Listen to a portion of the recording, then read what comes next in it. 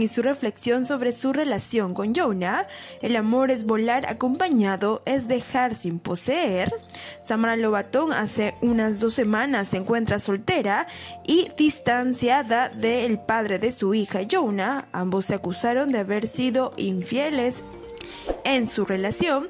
Sin embargo, Samana Lobatón regresó al Perú en compañía de su hija y dejó a Jonah en los Estados Unidos, alejándose una vez por todas de esa relación tan tóxica que acabó hasta con una denuncia por violencia física y psicológica. Ante ellos, Samara ha usado sus redes sociales para lanzar esta reflexión sobre lo que era su relación ni el amor es una jaula, ni la libertad es estar solo.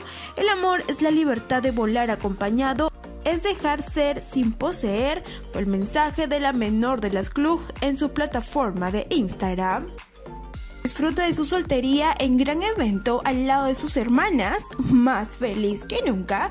Samara Lobatón desde que terminó su tormentosa relación con Jonathan Horna, el padre de su hija, se muestra muy feliz en las redes sociales y con un nuevo semblante. Esta vez salió a disfrutar al lado de sus hermanas, su soltería, y se mostró sumamente feliz en las redes sociales. Recordemos que ella ahora es madre y padre para su hija y también salir de fiesta, pese a que los cibernautas le han destruido la vida por salir tan solo unas horas con sus hermanas y divertirse. Samara no hace caso a las críticas y se mostró muy feliz en este evento.